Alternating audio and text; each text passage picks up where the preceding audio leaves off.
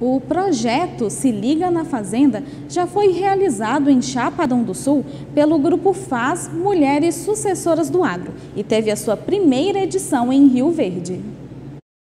O projeto Se Liga na Fazenda é uma iniciativa do grupo Faz Mulheres Sucessoras, onde estudantes são levados para conhecer as atividades da fazenda, conhecendo o agronegócio desde produção até a comercialização dos produtos. Esta foi a primeira edição em Rio Verde, no sudoeste goiano, com os alunos do nono ano do Colégio Abel Pereira de Castro para que eles tenham uma consciência maior do que realmente acontece dentro de uma, de uma propriedade rural. Né? Porque hoje realmente está muito desmistificado a imagem do agronegócio, né? a questão do ambiente, do meio ambiente. Então a gente, é, através de uma iniciativa que já aconteceu, esse projeto em Chapadão do Céu, do Sul, desculpa, a gente né, trouxe o evento para cá para a gente começar a plantar essa sementinha de divulgar né, o que, que realmente acontece dentro de uma propriedade rural. Os estudantes tiveram a oportunidade de conhecer a realidade do produtor rural, os desafios e as responsabilidades e também uma nova área profissional. Todos nós nos sentimos privilegiados por ter essa oportunidade, essa experiência de instrução, de conhecimento. E o mais interessante foi mesmo a, o conhecimento que nos foi dado sobre a produtividade, sobre o aterramento, sobre o plantio. Isso tudo agrega ao nosso conhecimento algo que pode gerar em nós, no futuro, aquilo que a gente quer ser.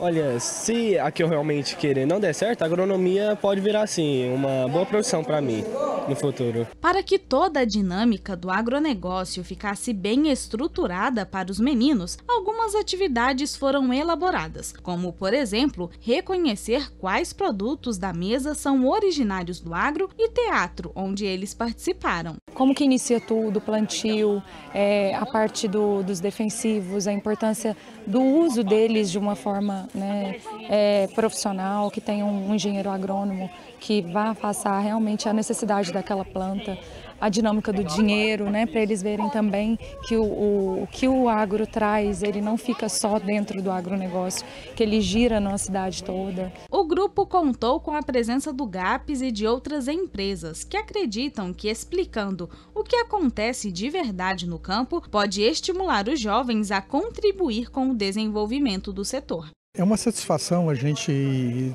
é, trabalhar para esse lado social, né?